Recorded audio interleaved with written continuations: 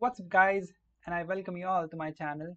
You are in the series of fundamental of cybersecurity and we had seen uh, different types of hacker in the previous session. We had seen this eight types of hacker right. In this session uh, we will start uh, as I told you in the first uh, session that uh, I'm actually following a concrete syllabus of GTU 5th semester. So uh, let me open that syllabus here for you um, so this is a syllabus that I'm actually following. Uh, so the content is basically it's five chapters. So I'm going to cover these whole thing. I'm going to uh, uh, create a complete different playlist on cybersecurity, like from very state, uh, from a very basic point, uh, very simplest point to the advanced, you know, topic.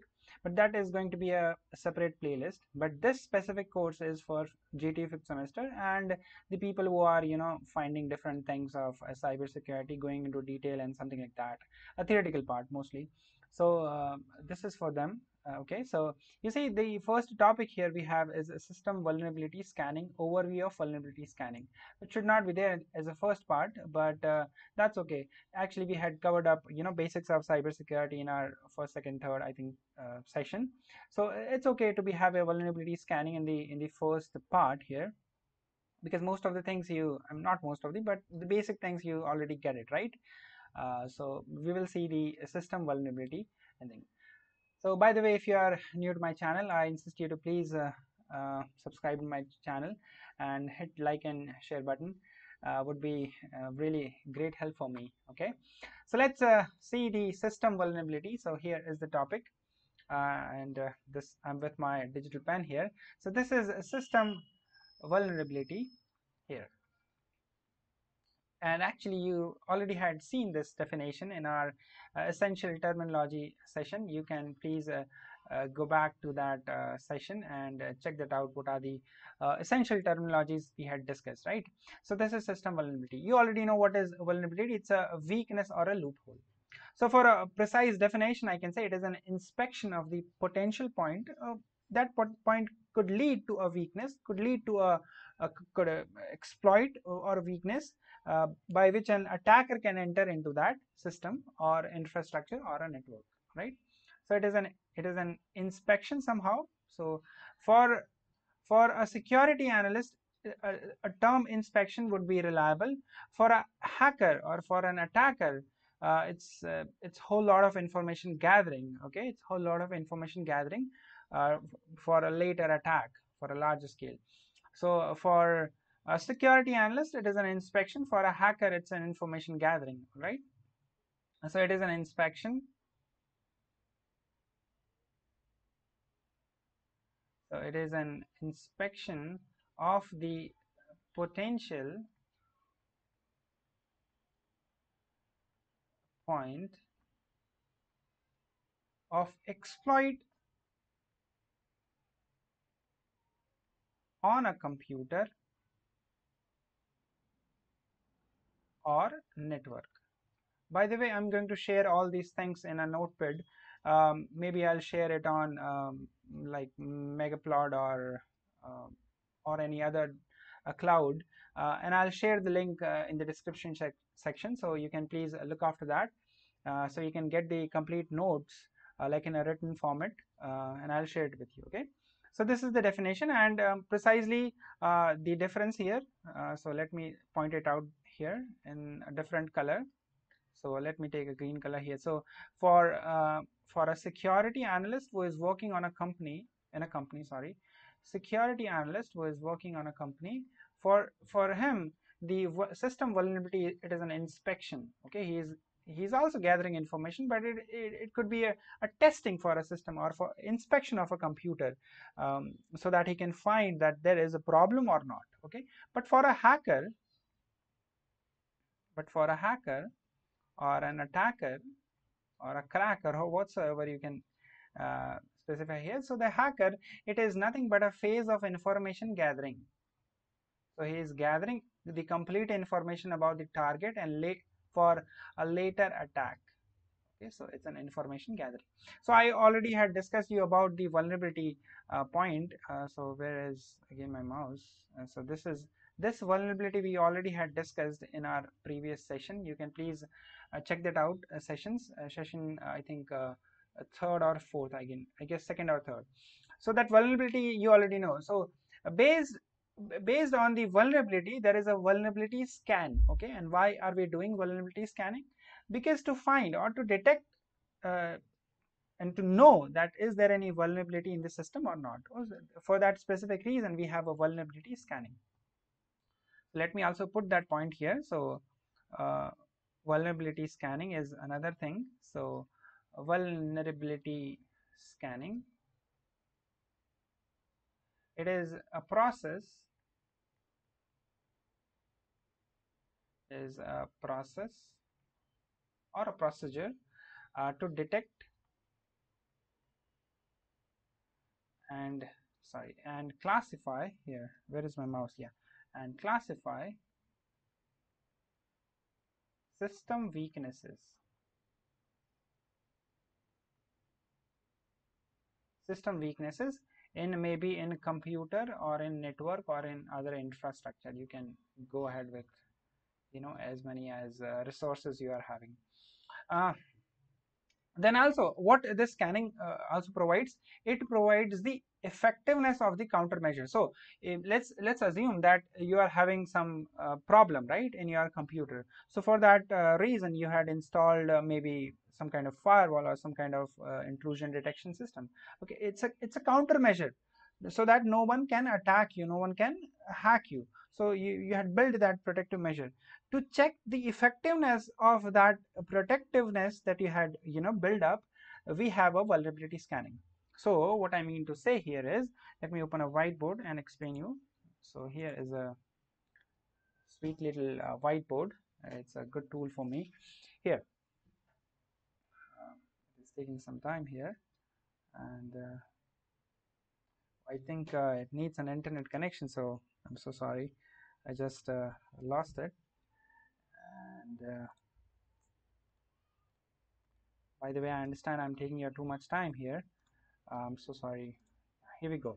So what I'm saying here is uh, basically so uh, if this is a computer all right this is a computer and uh, let's say there is uh, there is a there is a protectiveness that you had pulled out this is a protectiveness measure or let's say this is a counter measure that you had put here.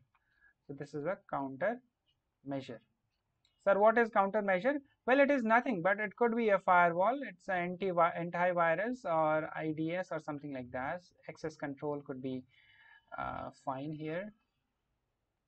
Sorry double S would be there but no problem. Uh, antivirus could be a counter measure too sandbox uh, would be also reliable here. So uh, so these are the countermeasures that you had put in. So the vulnerability scanning here the vulnerability scanning will see the effectiveness okay? We'll see the effectiveness that how effective how effective are these countermeasures. So an actual actual attack will come then is firewall protecting you or not we need to check it right? My firewall is very low end and if attack is happened to my computer if my firewall is not protect, protect, protecting me then it is not an effective uh, countermeasure for me right? I need to remove it somehow. So to see the effectiveness of the countermeasure we are having this vulnerability scanning. Sometimes it is also used for that. So that's why we are we are putting a point here uh, that um, it it also it also predicts the effectiveness of countermeasure of countermeasure. And uh, you already know what are the countermeasure. So let me also put here firewall and on so you can you can put it over here right? So if uh, you're not having uh, you know these uh, countermeasure then there could be an exploit uh, you know a breach into your system. So sir you we understand somehow you know vulnerability and vulnerability scanning. I do not know whether you understand or not but I assume that you understand. If you do not understand please you can have a, a comment in comment section. You can please uh, write uh, the comment and i'm happy to help you there right? That way i can help you otherwise you can uh, you know just uh, go to the first point and just start one more time. You will eventually get the point right? So another thing is uh, after vulnerability scanning sir is there any type of vulnerability scanning? Yes there are two types. Well there are two approaches. Uh, take another color here. So two approaches. So there are two approaches of uh, vulnerability scanning. So i'm putting a vs here. So what are they they are authenticated uh, which is easy to understand. I mean you will get it i mean from the term itself. And unauthenticated. Unauthenticated. So what is the difference? You already know that right? So uh, authenticate means a person who is company a security analyst okay a person who is company uh, working in the cyber security company is taking the permission from the target that I want to test, I want to do the vulnerability scanning in your computer, in your network, in your infrastructure to see is there any problem in your system or not. Okay, so he is authenticate person. Okay, he is taking the permission. So these are the people who are authenticate vulnerable uh, vulnerability scanners. Okay, so they they take the permission. So they are the testers. Okay. But however, in contrast to that, we are having unauthenticated person who never take the permission okay that these testers perform the scan as an intruder okay you never take the never take the permission you cannot trust this okay so i hope uh, i do not have to write that it's a simple thing uh, so authenticate and authenticated sir is there any uh, specific uh, you know causes for uh, having this vulnerability and there could be any any sign with, from where i can get the thing yes you can eventually get it so i mean I need to take this new section here. So let me uh, put those uh, points here. So uh, there is a vulnerability type, let's say, vulnerability type. then there is a root cause. So it's not a root cause. Just let me put a cause here, and uh, there could be uh, like example. Okay. These are the things. So uh, let's say a first vulnerability type. There are actually many types, but I'm taking only uh, one or two. So the first vulnerability type, uh, type like uh, there could be a problem in the system. Problem in system. Sir, what is problem in system? Could be anything. Okay, and why the why there is a problem in the system? Let's say let's assume that uh, you got a error like um, like a boot sector error. Okay, while uh, operating your operating system boot sector error comes up why, why this is happening sir there could be a problem in the code in the source code there is a problem and why there is a problem in the source code? Because it is a very complex code right? The boot code is a very complex code. So cause is the complexity. The complexity of the code. For an example bug in the code okay? It happens. There could be error in the code. And because of this error you know this thing happened. Boot sectors. Or maybe you just corrupt the boot sector because of uh, you know different things with different configuration you are putting in your computer leads to some bugs happens in your source code i mean in the boot uh, source code and leads to a problem in the system right? It's a small example. You can take uh, any example uh, when uh, whenever there things like system flow happens right? So this is the thing. This is the first example. Let me also take uh, some more example. Let's say uh, another code uh, another vulnerability type is could be like uh, a missing security component like let's say uh, lack of security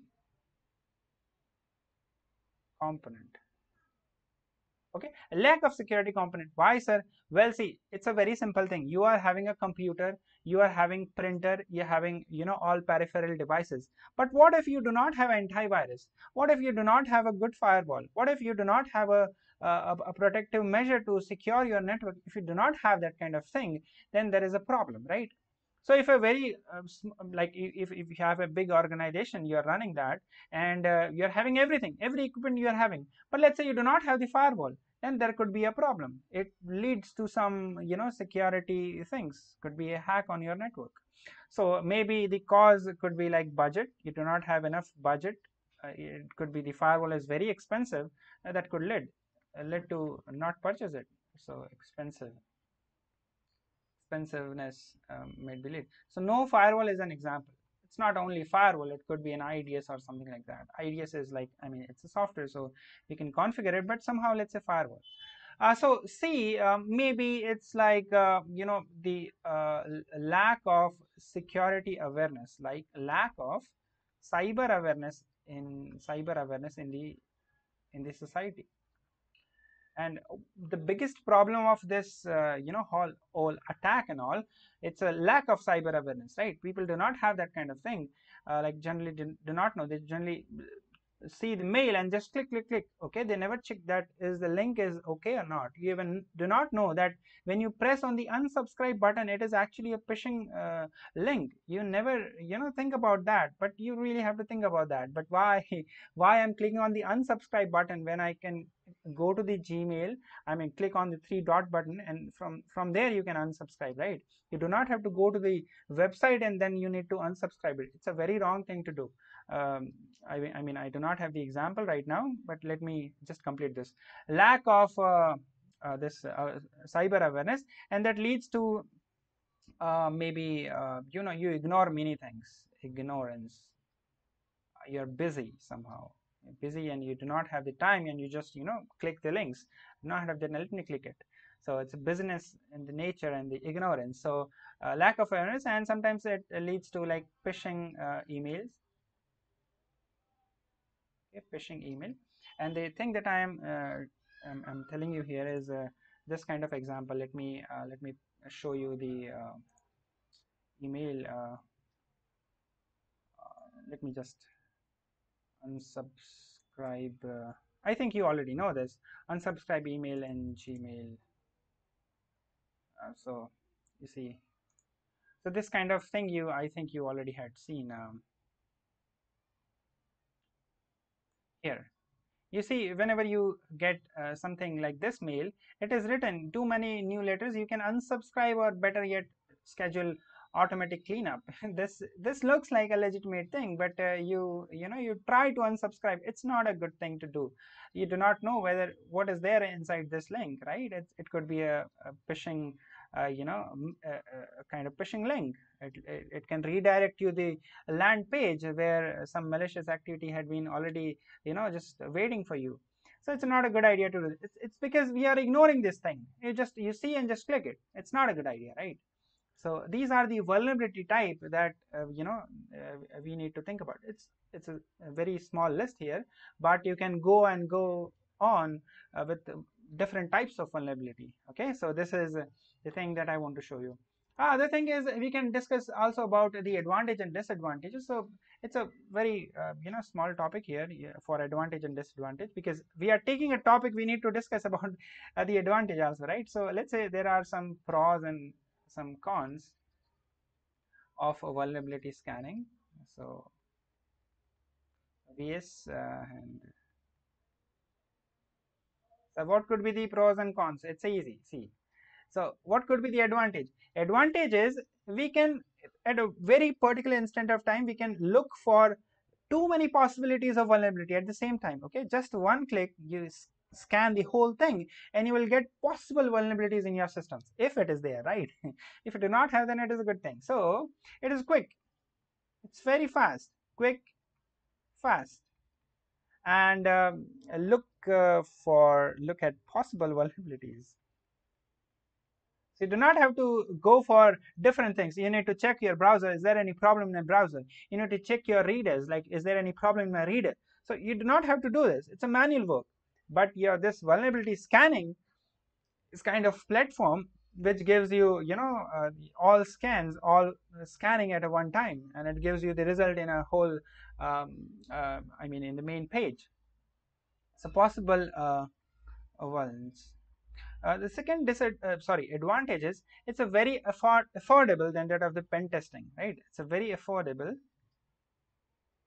affordable um, compared to penetration testing. So why this is, uh, I mean, uh, affordable? Well, what do you mean by pen testing? It's uh, it's now another topic here. It's a different thing. See, vulnerability. The difference between here. Let me also take another thing here. So, difference between vulnerability scanning and penetration testing. Uh, also, you will see the difference. It's an automated thing. Okay, it happens. It's like you do not have to do like uh, you just have to click one time. One time click and scan everything just like your antivirus. Uh, you, there is no manual work at all so it's complete an automated system okay? However when you go for penetration testing it's manually done why manually done? You go for many things. Like you go for uh, social engineering you go for password cracking or you go for network traffic analysis. It's a different different module you check for you know, it's, it's a penetration testing. So different different modules. A long way to scan things. It's a big thing. Yeah definitely the result different the result between vulnerability scanning and penetration testing is a different right? You will get a very short summary of a result in vulnerability scanning. However you will get a i mean a very vast result in your penetration testing. So that's a difference. It's a manually done uh, by a man. Uh, this uh, vulnerability scanning it will identify only vulnerability only vulnerability. Okay only vulnerability. However penetration testing is you know it's a, it's a it's a king actually. You see? It's a king why this is king? Because it not only identify the vulnerability but it will also find the root cause of vulnerability. So that's an important thing. So that's why we you know we are just running on the penetration testing. Identify a root cause of vulnerability. So that's a good thing right? So uh, that is why this is the difference. So uh, again come back to our um, main uh, oh so where exactly we are? We are in the 11th section right yeah so this is affordable compared to penetration testing. So it's a i mean just want to see the vulnerability go for vulnerability scanning. Do not go for penetration testing. It will take too much time here. It's a it's an affordable way. A third advantage here it's an uh, uh, so there is a schedule scan. So this is also good. Schedule scan. What is schedule scan? You can run you know scan for week. Like for weekly you can run. Like you can uh, monthly you can run. So you can schedule that. It will automatically scan uh, after uh, after uh, the end of week after the end of month likewise. So schedule scans are there. Now what are the disadvantages? Well the first disadvantage in cyber security it's a very common disadvantage it's the false positive. The false positive. What uh, what are these uh, you know true positive and false positive and false negative? It is nothing. So what exactly false positive will tell you? It's a it is something like uh, it will show you that if there is a vulnerability in your computer then the scan will tell you that there is no vulnerability at all. Okay however there is a vulnerability but it will tell you the false thing. It's there is no vulnerability at all. Or there might be uh, there might be a vice versa case like false positive and false negative. If there is a vulnerability then uh, scan will say you that there is no vulnerability. There might be a chance there is no vulnerability, but still the scan will say there is a vulnerability. So that's a false positive and false negative. So we need to think about this also. So it, it's an uh, sometimes it creates a lot of problems. It's a very big disadvantage actually. Um,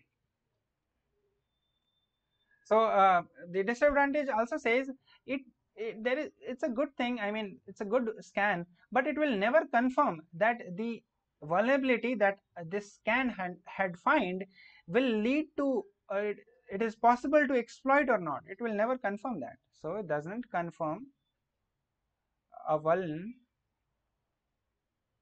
is possible to exploit or not. Uh, possible to exploit.